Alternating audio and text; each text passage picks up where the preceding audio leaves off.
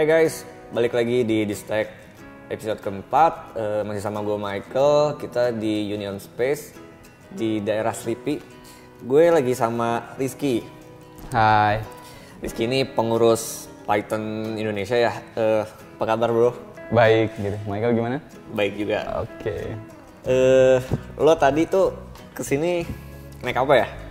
Eh, tadi naik taksi dari Gading Serpong ke Jakarta lumayan Jauh macet juga juga. ya.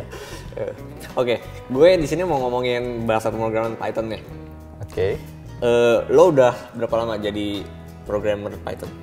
Cuma kalau di Python sendiri gue pertama handle itu Python itu tahun 2012. Awalnya itu gara-gara dari pindah dari security, network engineering gitu dan sebagainya, terus pindah ke Python. Iseng belajar programming. Sebelumnya apaan? Bahasa pemrograman pertama yang lo coba? Eh, yang per- yang pertama ya Python. Python udah dulu. Oh, jadi lo belajar Python terus udah terus sampai sekarang gitu? Iya, sampai sekarang Python. Menurut lo selain Python gitu kan punya banyak bahasa pemrograman lain, apa sih yang jadi ciri khas Python dibanding yang lain tuh? Oke, eh, ciri khasnya Python itu sintaksnya mudah banget dipelajari. Baik itu buat anak-anak yang baru belajar itu enak banget untuk belajar dipelajari. Terus Python juga itu bisa digunakan di multi layer gitu. Ada banyak tempat yang bisa digunakan menggunakan bahasa pemrograman Python ini. Implementasinya tuh eh, dipakai buat apa aja? Biasanya itu mostly sekarang itu kayak startup startup itu pakai Python untuk machine learning, buat data. Terus ada juga untuk web development. Ada lagi yang lagi hype banget sekarang ini microcontroller. Jadi ada micro Python khusus dibuat untuk microcontroller ini. Microcontroller. Eh, Oke. Kalau untuk buat website itu gimana? Ada langkah-langkahnya lo bisa bantu gue deskripsiin? Kalau uh, nge-upload ke kayak seperti cloud gitu seperti di Neo ya. Oke, jadi biasanya kalau untuk kita nge-develop gitu, develop sendiri, uh, develop aplikasi itu biasanya ada source control. Kita mau simpan di GitLab atau di GitHub atau di repository kita. Nah biasanya dari situ itu kita bikin ada tiga ada, ada tiga tahapannya dari source control, terus kita ke CI (Continuous Integration Server), terus langsung ke production servernya. Nah biasanya itu flow-nya itu se- seperti ini. Dari source control ngasih notifikasi ke continuous integration server.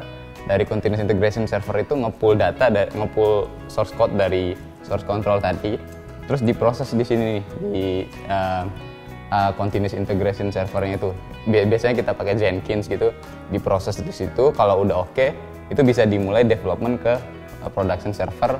Dan lalu dari servernya nanti dia bakal nge-pull ke source controlnya tadi, dia minta kodenya, baru dilanjutkan dan di finish deploymentnya. Pernah ada masalah nggak dari eh, development ke production?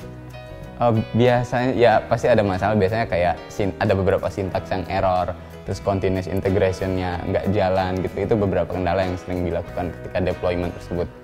Eh, gimana tuh caranya biar mengatasinya biar lancar? Oh, oke. Ya biasanya sih kalau kayak gitu ya kita perhatikan baik-baik gitu kode yang kita kembangkan gitu dan lain sebagainya.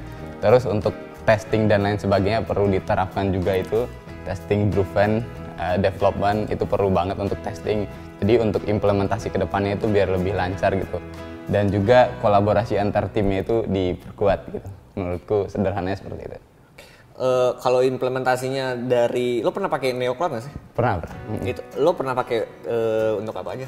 Kalau NeoCloud eh, itu pernah coba kebetulan salah satu eh, tahu gitu eh, develop ngikutin perkembangan Neo juga gitu ada Neo CLI Ya. kayak deployment untuk Kubernetes kayak deployment untuk eh, nge-create virtual machine itu udah enak karena udah ada command line interface-nya itu itu enak banget sih Neo CLI itu Oke, eh, mungkin secara teknis udah kali ya. Gue pengen nanya lagi tentang Python. Eh, Nah, gue pernah denger tentang Python nih. Kita mau bahas Python. Python ini eh, Python Conference ya, eh, acara tahunan yang ditujukan untuk pengguna Python di seluruh dunia komunitas Python. Nah, itu apa sih eh, pembedanya conference tahun ini dengan tahun sebelumnya?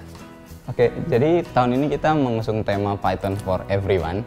Jadi Python itu kita targetkan buat siapa aja, baik untuk orang data, untuk web development, untuk anak-anak, untuk pie ladies, untuk wanita-wanita. Jadi kita mau Pie semua- ladies, wanita ular ya.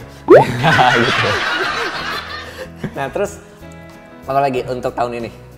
Eh, tahun ini kita rencana acaranya tuh nanti di tanggal bulan November, tanggal 3 sampai 4 November itu acaranya di Jakarta tahun ini gitu.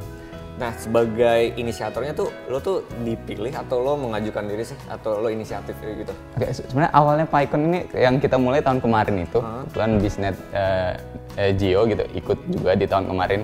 Jadi awalnya nge- nge-inisiasi eh, dari ide-ide sendiri gitu, terus ngajak teman-teman gitu dari komunitas Python, yuk kita bikin rame-rame gitu Python conference gitu di Indonesia.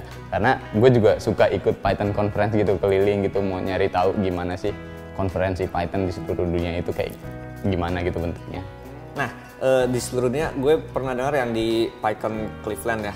Oke ya, betul. Eh, itu lo berbicara tentang data di education gitu, pentingnya data sebuah edukasi. Ya. Itu bisa lo ceritain eh, sedikit nggak materi lo itu tentang apa? Oke, jadi itu kebetulan tahun ini bulan Mei, Kapan tuh? bulan Mei kemarin 2018 itu acaranya di Cleveland United States gitu. Jadi berangkat ke sana dengan budget sendiri semuanya gitu berangkat pengen sharing tentang data when data meets education ini. Jadi emang gue tuh senang riset gitu, riset-riset dan kebetulan ada data di dunia pendidikan gitu yang gue punya, yang gue handle juga gitu kan. Ya udah gimana sih kita bisa menggunakan uh, data di dunia pendidikan gitu dan menemukan insight-insight di dalamnya ya seperti itu sih yang gue sharing kemarin gitu Keren banget. Eh, gimana eh, pengalaman lo? Mungkin lo bisa ceritain ke penonton gimana Hmm. sih pengalaman lo ke sana tuh. eh, terus saran-saran untuk mereka itu gimana? Biar jadi developer yang bisa keliling dunia, speaker, ngeliat Iya. conference kayak gitu. Kayak kebetulan gue punya mimpi gitu kan, gue pengen mengelilingi seluruh Python conference di seluruh dunia gitu. Alhamdulillah sekarang ya udah ada beberapa lah gitu. Oke. Oke, dan eh, saran gue ketika pengen ikut Python conference tersebut, eh, kita mulai aja gitu, nggak nggak perlu takut. Kalau ingin jadi speaker silahkan bisa ikut call for proposalnya, submit aja. Atau kalau mau jadi peserta, ya udah langsung registrasi, daftar aja. Dan ketika kita berkumpul di konferensi tersebut itu, banyak sekali orang-orang di sana gitu. Kayak acara yang kemarin itu yang di PyCon itu ada lebih dari 3000 orang. Jadi harus ketemu pas lunch kita ngobrol, pas eh, visit booth-booth orang, ketemu orang baru-baru. Ya jangan jangan takut untuk ngomong gitu. Karena awalnya dulu pas gue ikut Python conference itu di Hong Kong yang itu, itu tahun 2016 ya, pertama ikut tuh belum berani speak gitu sama sekali ngomong sama orang itu nggak berani dan lain sebagainya ya tahu sendiri lah gitu kan masih malu-malu tapi setelah sering-sering mencoba ya udah enak aja ngobrol sama orang-orang gitu jadi bisa kenal yang bikin Python bisa kenal yang bikin request bisa kenal yang bikin library-library di Python itu keren Oke, eh, kayaknya nanti kita bisa ngobrol lebih lanjut di acara PyCon Conference Hmm. Indonesia. Buat yang lain juga bisa eh, gabung kita kita nanti. Lo bakalan ada di sana kan nanti? Yoi. Itu acaranya kapan dan di mana? Itu acaranya nanti tanggal 3 sampai 4 November dan itu acaranya nanti rencana itu di Kalbis Institute di daerah Cempa- Cempaka Putih. Oke, langsung aja kita meluncur ke sana. Eh, sekian dulu di stack episode keempat. Kita lanjut lagi ke di stack episode kelima. Jangan lupa follow dan like kita. Oke, Michael cabut.